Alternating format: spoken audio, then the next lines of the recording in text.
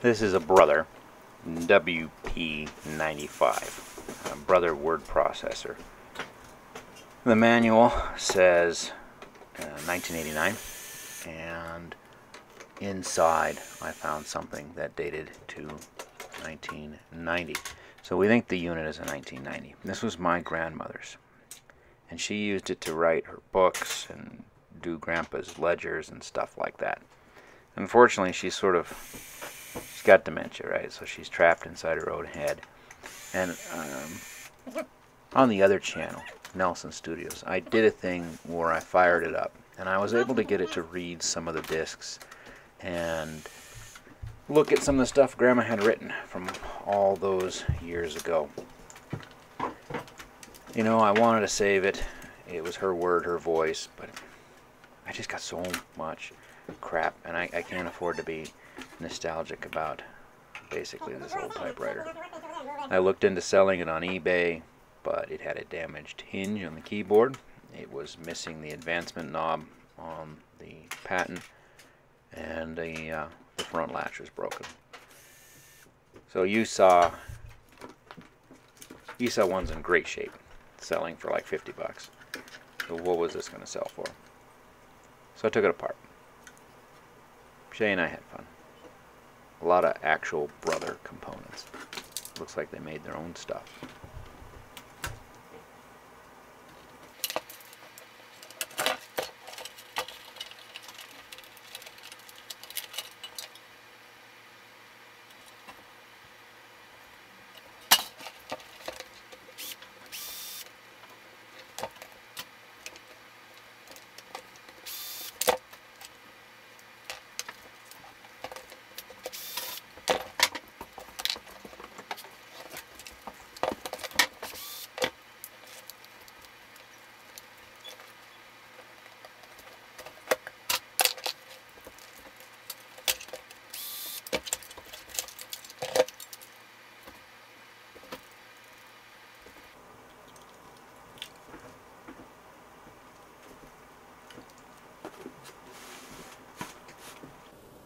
Well, that's pretty cool.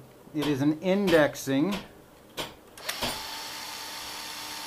punch wheel.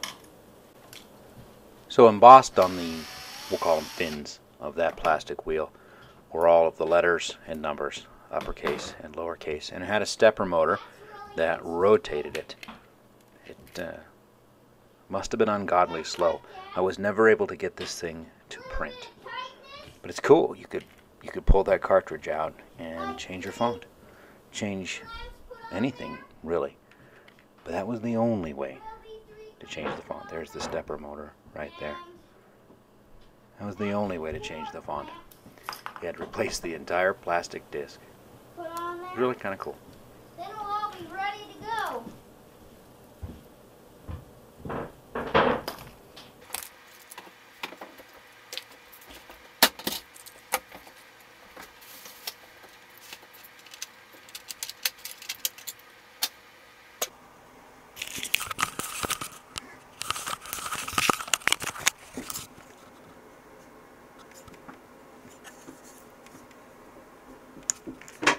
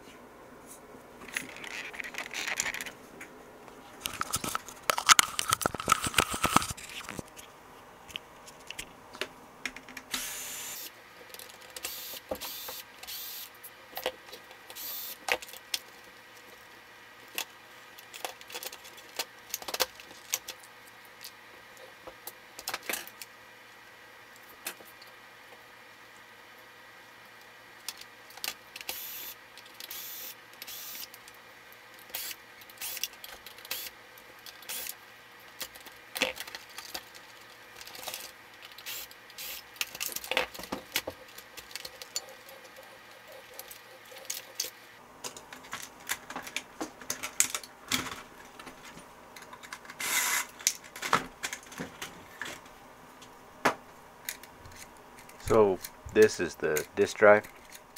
I was never able to get it to work reliably. I'm not sure entirely if it's the discs that are bad or if the drive is itself got some problems. I either or I suppose is is incredibly valid at this point. I was trying to figure out who made it. Right? There's a lot of Taiwanese parts in this thing, which would make sense coming from the late 80s. Uh, what I didn't expect was to open up the cover and find uh, U.S. made brother parts. It's a appears to be a brother specific drive, which I thought was impressive back when we made things.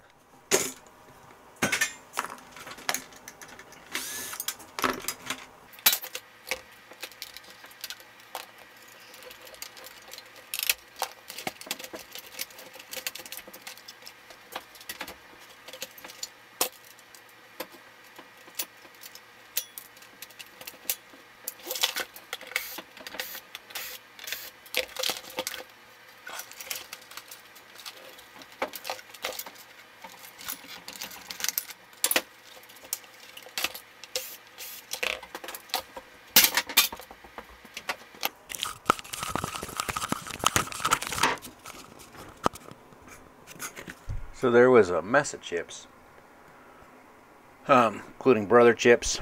There was some NECs and uh, Texas Instruments, believe it or not, on there. Single, single depth board, just your real standard. we got an awful lot of room inside this thing. There is no need to get fussy. That's the power supply. Got some big filtering caps and whatnot. Who knows? Maybe we'll blow some of those up. It's been a while since we did that.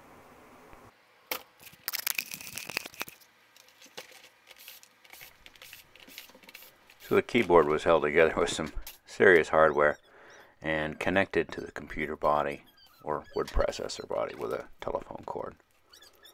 Not a whole lot of chips, some big ribbon cables. They were big old clunky chunk, chunk, chunk, chunk, very tactile very, very tactile keys, which made sense. The manual talked about how uh, it would feel different than your typewriter, so they're making it try to feel more typewriter-like. Just your, what do they call it, acetate keyboard, covered with little rubber micro switches. Big clunky keys. I don't know how they got them in or out. It's kind of cool though. Hey, Dad, this is pretty cool. Look at all the stuff printed on this thing. Look at all shut. Uh, there are four or five different keys that you could hit. It's all manual, right? No F keys here. Pretty cool little Taiwanese Mashuta, Mashutita, 12 volt CRT, green. I had a TRS 80. That was the very first computer I had as a kid. Date myself a bit. It had the same sort of look and feel as that old TRS 80. Just that, uh, going for a ride. That green cathode ray tube kind of thing. Anyways, we'll do something cool with it. Microwave it. Um, I don't think we've done a little one on the high-speed camera. So we'll blow it up on the high-speed camera and see what sort of patterns we get. I got some great tempered glass shots the other day. But I only have those slow motion stuff. We appear to have lost the camera. For life of me, I can't figure out what happened to it. I hope I didn't put it on top of the car, something stupid like that.